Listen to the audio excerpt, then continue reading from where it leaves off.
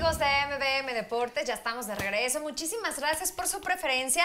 Y recuerde que para esos calores, pues les recomendamos que usted consuma agua Gugar, porque agua Gugar tiene el mejor proceso de ultrapurificación, el mejor que existe en Oaxaca. Aparte, tiene diferentes presentaciones dependiendo de la sed que usted tenga, como de un litro, un litro y medio, 600 mililitros y 250 mililitros. Y si usted tiene una familia muy grande o usted está en la oficina, también puede adquirir el garrafón de 20 litros. Así es que usted consuma agua Gugar porque es su mejor opción, ¿verdad, chicos? Claro que sí. Y es que también en el deporte siempre se debe de estar Es necesario, Pablo. ¿Continuamos con más? Claro que sí, pues vamos a seguir con la información y con los alebrijes de Oaxaca. Vamos a recordar cómo fue la victoria de alebrijes ante los venados de Mérida. Vamos a verlo.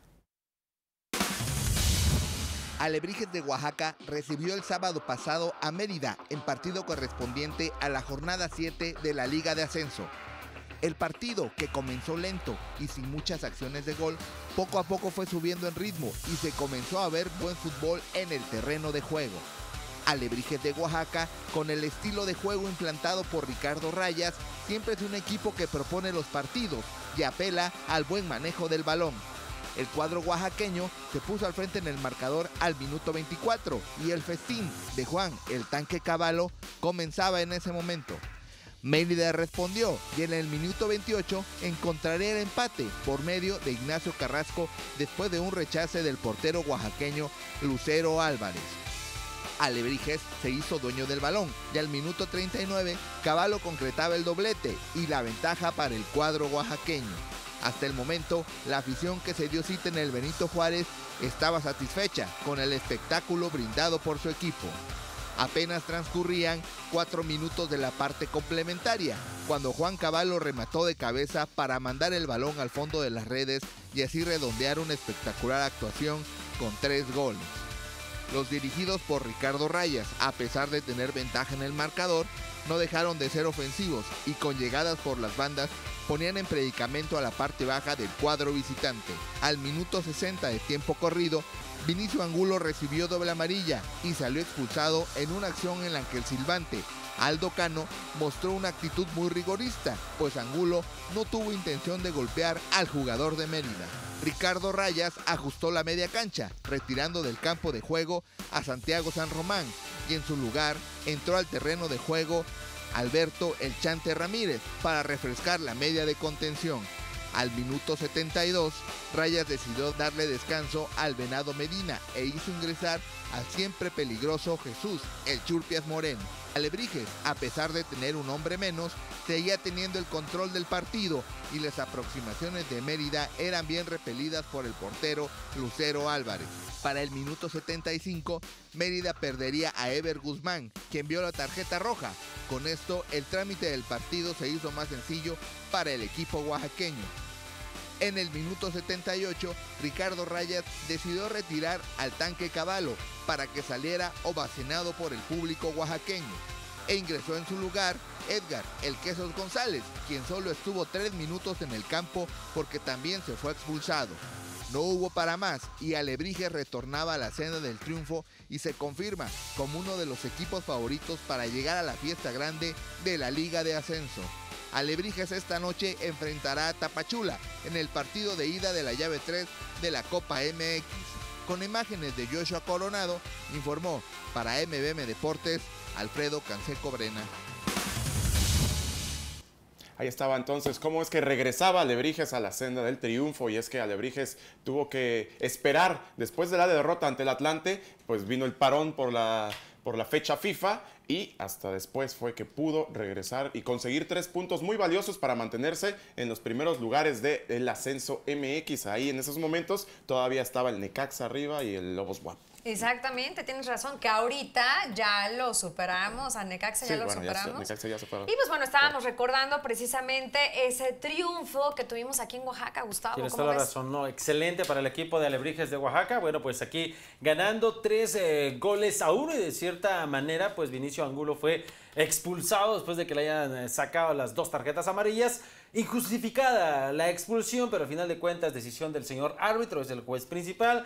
Él dijo que sí fue y San se acabó. Así es que así estuvo la situación, un gran espectáculo, le brindaron de cierta manera pues a la afición a la que fue en ese entonces y en ese momento, pues este gran triunfo. Sí, tienes toda la razón y pues bueno, eh, afortunadamente, pues ya ahorita, como lo comentábamos, pues Alebrijes de Oaxaca, pues ya está arriba del Necaxa. Estamos, retomamos nuevamente la senda del triunfo, como tú comentas, Pablo, y pues invitamos a todo el público a que siga apoyando a Alebrijes de Oaxaca como debe de ser. Claro que sí, hay que estar siempre con el equipo y ya se, se ha dicho muchas veces, el equipo lo está demostrando en la cancha, también haciendo buen fútbol para que los aficionados se den cita en el Benito Juárez. Así es, pues fíjate que Alebrijes de Oaxaca recibe a Cafetaleros de Tapachula buscando su pase a cuartos de final de la Copa MX. Vamos a verlo. Alebrijes de Oaxaca regresa este miércoles al Estadio Benito Juárez para recibir a los cafetaleros de Tapachula en partido de vuelta de la llave 3 de la Copa MX. El equipo dirigido por Ricardo Rayas buscará su calificación a la siguiente fase del torneo. Hay que recordar que en el partido de ida de esta llave, Alebrijes de Oaxaca perdió la etiqueta de invicto en la Copa, al caer por un gol a cero en la casa de los cafetaleros.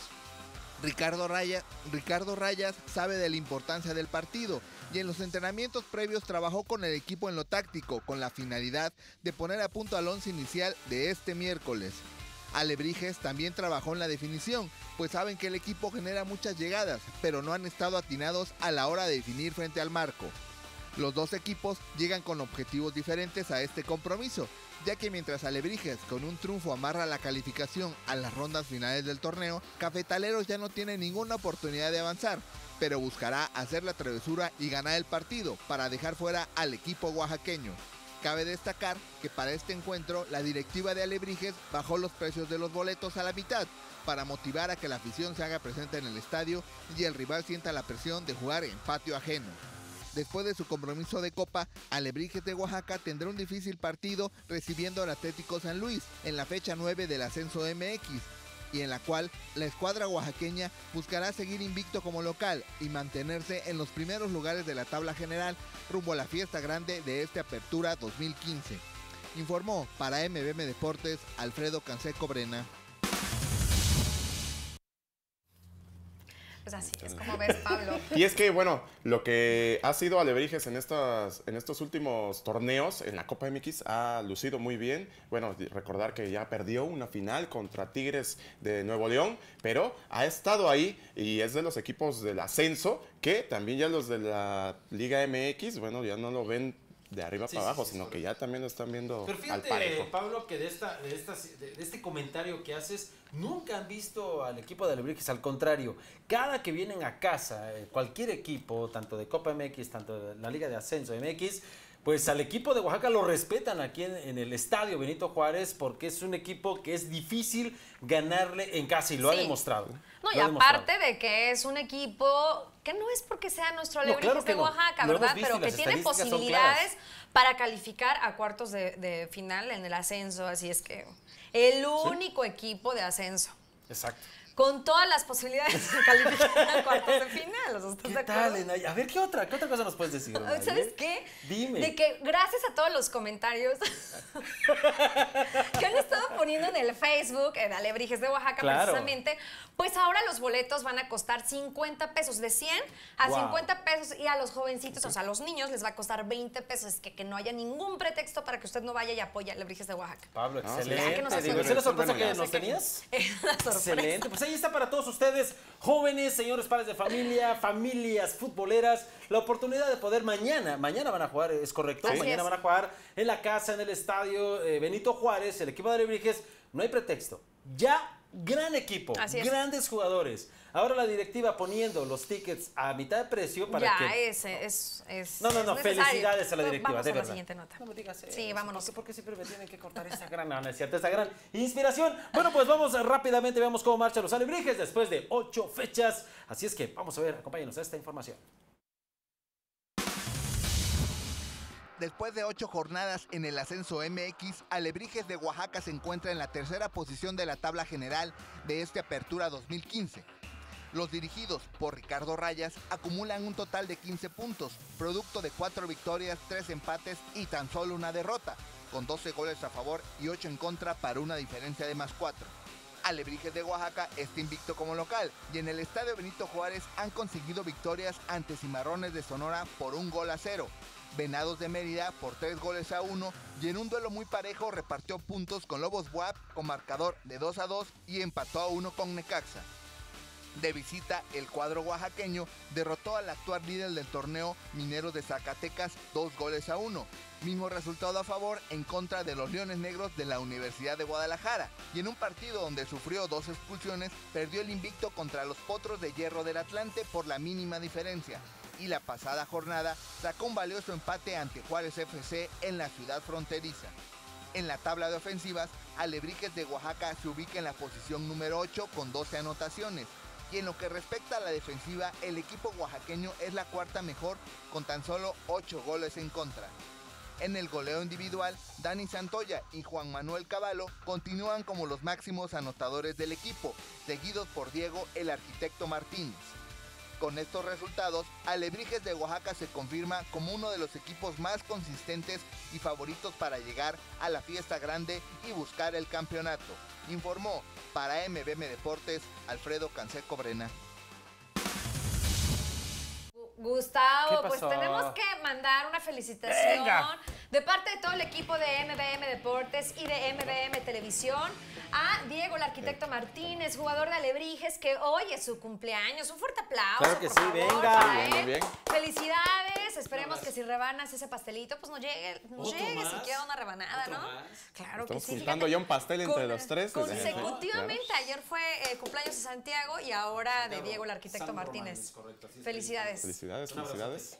Nos deben dos rebanadas. Una, dos, tres. Y los que se van a ir acumulando en el Seis transcurso del mes.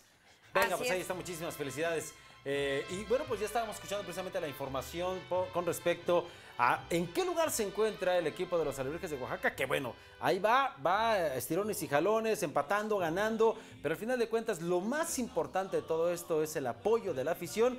Mañana lo estaremos esperando en el Estadio Benito Juárez, Pablo. Sí, fíjate, y estábamos haciendo, bueno, si hoy acabara la temporada del ascenso, estábamos viendo contra quién le tocaría Alebrijes, y bueno, sería Alebrije- Alebrijes contra el Atlante, así es que Wow. muy buen Fíjate, duelo, pero bueno, todavía falta partido. mucho. Lo que sí es que Alebrijes se mantiene en, la- en las primeras posiciones, en estos momentos se encuentra en la tercera posición, pero pues ahí está emparejado con los WAP y Mineros de Zacatecas, que ahora ya son los... Sí, exactamente, uno, dos y tres, ahí están los lugares. Bueno, vamos, vámonos rápidamente a nuestro corte. Y después del corte... Continuamos con más de Martes de Alebrijes. Acompáñenos. Hola, soy Mario Padilla, jugador de Alebrijes de Oaxaca. Síguenos por MBM Deportes.